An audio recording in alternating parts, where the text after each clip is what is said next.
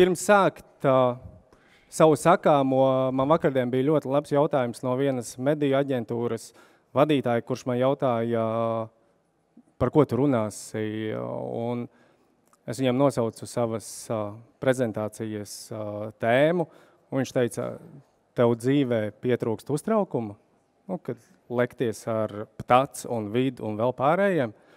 Uh, bet, uh, bet, bet, bet uh, ne, dzīvē netrūkst uztraukumu, un es mēģināšu šo visu sakāmo pagriezt tādā veidā, ka uh, mums ir jāspēj sadarboties. Attiecīgi, pirms, pirms es sāku stāstīt kaut ko nedaudz par sevi, uh, pa sevi, es gribu nolasīt īstenībā vienu definīciju. Saskarsme, saziņa, jeb komunikācija. Ir vairāku cilvēku vai sabiedrības grupu savstarpēja miedarbība, informācijas, domu jūtu un citu apmaiņa gan runas, gan žestu valodā. Es vienmēr savā dzīvē esmu uzskatījis, ka komunikācija pats pats svarīgākais, vispār pamats pilnīgi visam. Gan ģimenē, gan biznesā, uh, Veidojot savu karjeru, es arī esmu ar visiem veidojis maksimāli draudzīgas, ģimeniskas attiecības, ka es varu piezvanīt jebkurā mirklī, lai cik tas smieklīgi šķistu, dažkārt svētdienas vakarā, un kaut ko pajautāt, vai arī palūgt padomu un tam līdzīgi. Un tā, tā komunikācija, ja viņu nelieto pareizi, bieži vien rodas visādi pārpratumi, nesaskaņas, mēs sākam konfliktēt viens ar otru, nevaram saprast viens otru. Attiecīgi runājot par mani, uh, esmu influenceru un sabiedrisko attiecību aģentūras Vomstāra vadītājs. Mēs darbojamies ne tikai Baltijā, bet pēdējā laikā mēs arī ejam ārpus uz citām valstīm Polija, Bulgārija, Rumānija, UTT, UTT tālāk.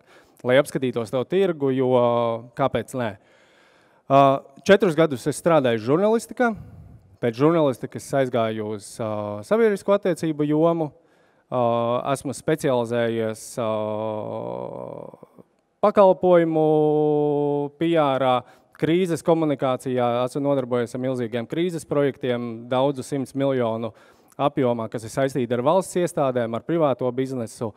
Uh, un šo 11 gadu laikā, kamēr esmu strādājis uh, influenceru, uh, sabiedrisko attiecību uh, jomā es desmit gadus arī attīstu influenceru mārketingu. Patiesībā sakot, es ar influenceru mārketingu sāku strādāt pirms viņus vispār tas vārds influencer bija populārs. Attiecīgi, runājot, runājot par komunikāciju, kritiski svarīgi, influenceri versus, versus uzraugošās iestādes – Viena no svarīgākajām lietām ir tas, ko es gribu pateikt, ka esmu nenormāli priecīgs, ka influenceru mārketings attīstās, viņš kļūst lielāks, viņš kļūst sakārtotāks, bet ņemot vērā to, ka viņš attīstās diezgan strauji, pieaug arī ļoti liela atbildības, atbildības nasta, jo nemalosim, ka katrs pateiktais vārds un katra izdarītā darbība no influencera puses ir kaut kāds triggeris kaut kam, uz kaut ko, mērķi, pirkumu vai tam līdzīgi. Un, ja mēs paskatāmies uz uh, Latvijas mediju, šajā, šajā kontekstā runājot Latvijas mediju sasniedzamības datiem, bieži vien influenceru sasniedzamības dati ir daudz lielāki nekā tajiem klasiskajiem medijiem. Attiecīgi, turpinot to secību, ir tikai pavisam normāli, ka influencerus uzrauga kāds un ka to tirgu regulē, un ka mēs sakojam līdzi visiem notikumiem un visām darbībām, ko dara influenceri, precīzi tāpat kā tas ir reklāmas tirgu vai arī tas ir mediju tirgu, jo katram vārdam, kā jau es teicu, ir kaut kāda nozīme. Pagriežot nedaudz sakām vārdu augšpēdus, ka katrai zelta maliņai ir arī tumša maliņa. Desmit gadus buroties cauri influenceru jomai, es diskusijās varu kļūt diezgan emocionāls, tāpēc, ka esmu katru dienu tajā, tajā nozarē iekšā. Esmu ļoti dziļi būries cauri juridiskām lietām, mēģinājis gadu gaitā izskaust visādas lietas, kur influenceri ir mēģinājuši apčakarēt uzņēmumus, vai arī otrādā, ka, influ, ka uzņēmumi ir mēģinājuši izvilkt kaut ko laukā no influenceriem vairāk nekā, nekā tas būtu nepieciešams. Attiecīgi es esmu tā kā tilts pa vidu visam. Bet ir viena, viena ļoti svarīga lieta, un man baža, kas mani pārņem, ir taisnība tā bažība saistīta ar jomu, ar uzraugošajām institūcijām un visu pārējo, ka mums ir kritiski maza savstarpējā komunikācija. Gatavojoties šai konferencei, es ātri uzmetu ziņu vairākiem nozares pārstāvjiem, gan influenceriem, gan arī aģentūru pārstāvjiem, un visi kā viens man atbildēja, nē, uzraugošās institūcijas nav mūs aicinājušas parunāties, lai saprastu un izskaustu kaut kādas pretrunīgas lietas. Attiecīgi tas ir, neskatoties uz to, ka tā joma joprojām auga. Mēs it kā pēdējos gados ar vien vairāk un vairāk viņu regulējam, ir noteikumi un tam līdzīgi, bet tajā pašā laikā to joma aug, viņa kļūst lielāka, viņa kļūst nozīmīgāka. Pasaulē dati vispār ir uh, kosmiski. Uh, ja es nekļūdos, 22. gadā influenceru jomas novērtējums būs 16,4 miljardi. Un tie dati arī liecina, ka ar vien vairāk reklāmu devēji pārmet savus budžetus no klasiskajiem medijiem uz influenceriem. Tas nozīmē, ka tā joma attīstās un turpinās attīstīties.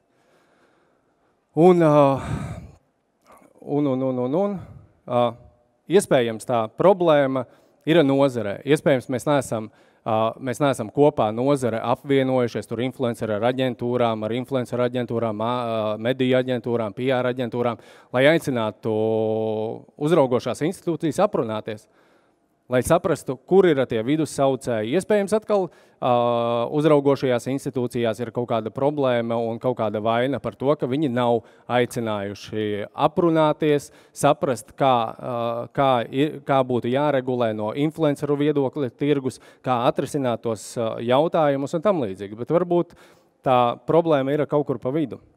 Un, uh, kā jau es iepriekš definīcijā minēju, uh, Komunikācija ir miedarbība starp organizācijām, starp grupām cilvēku, un ja šī, šī, šī komunikācija kaut kādā veidā izkrīt, tad visticamāk radīsies kaut kādi pārpratumi, pārmetumi, un no PR jomas runājot, šajā situācijā visticamāk lielākais cietējs būs valsts iestāde.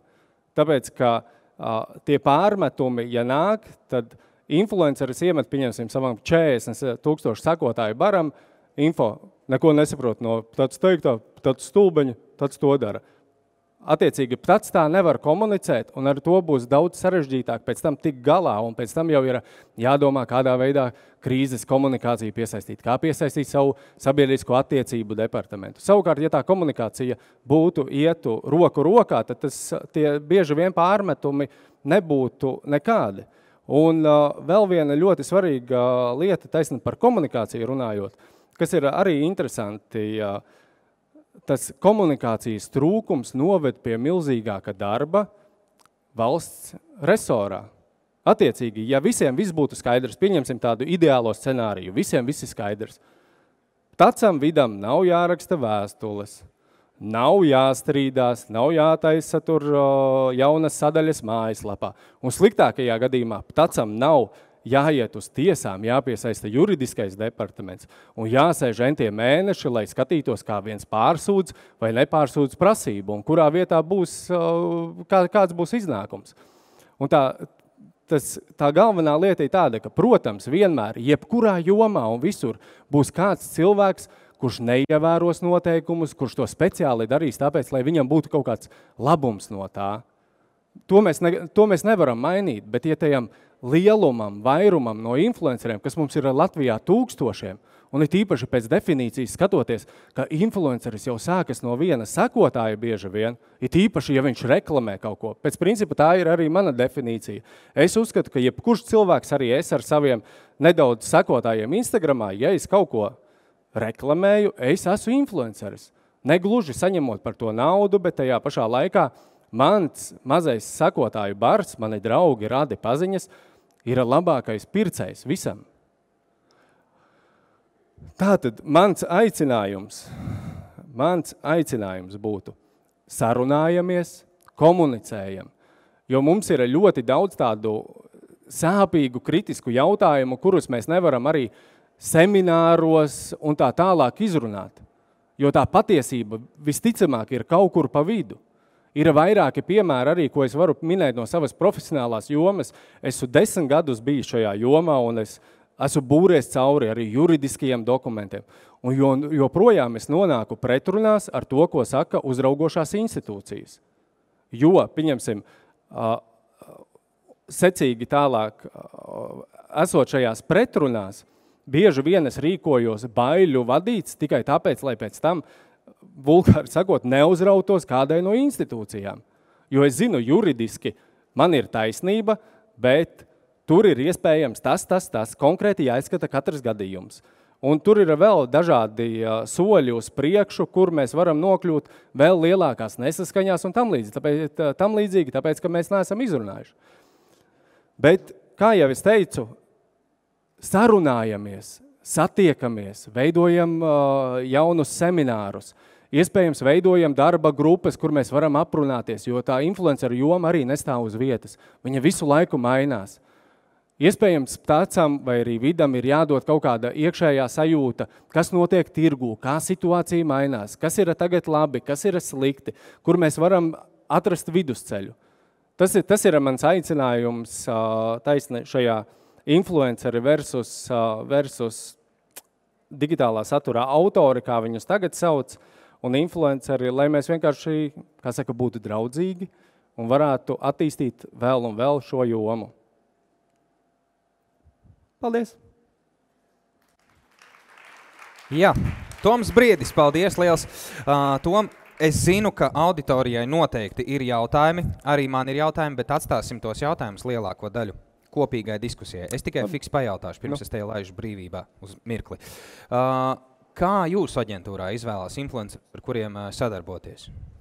Patiesībā sakot, tā, tā, ir, tā ir viena no lietām, ko parasti pie manis atnāk klients.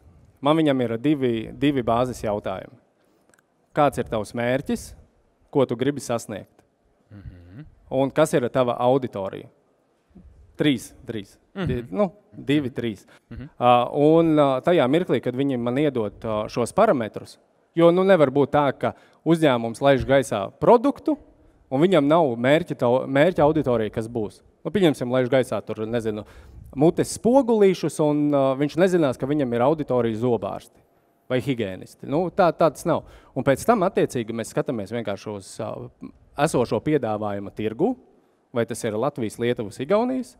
Mēs pēc tam izskatām uh, Uh, izskatām māti Google kaut vai to pašu, skatāmies arī tos reputācijas jautājumus, kā viņi ir komunicējuši. Tāpat mēs uzmetam aci uz sociālajiem tīkliem, padziļināti nedaudz, uh, kāda ir sekotāja bāze, vai nav džamšuts, vai nav rapšans un vēl visādi dīvainie sakotāji. Attiecīgi, kādi arī ir sasniedzamības rādītāji. Tas gan pēdējā laikā ne tik ļoti spēlē to lielo būtību, ka sasniedzamības rādītāji ir galvenais mērķis, ko klients prasa. Protams, man ir starptautiski klienti, kas nāk, viņi saka, man vajag 5% engagement rate. Mm -hmm, mm -hmm. Pēdējā pusgada laikā mēs zinām, ka mums visiem ir engagement rates vienkārši aizgājis uh, dziļi tur tālumā. Attiecīgi mēs izvērtējam visus parametrus, un tad mēs klientam dodam šādi un sakam, lūdzu, izvēlies, mēs iesakam šos. Mm -hmm. Un tad, attiecīgi, mēs turpinām komunikāciju mm -hmm. jau ar influenceriem. Tātad klients atnāk ar savām uh, vajadzībām, principā, ja jūs visu izdarat, piedāvājat, viņi saka, jā, šito, šito, un tad notiek viss tas Tieši tā. Paldies, dāmas un kungi, Toms Briedis, Vomstār. Tom tiekamies mazliet vēlāk, ja? šeit. Paldies.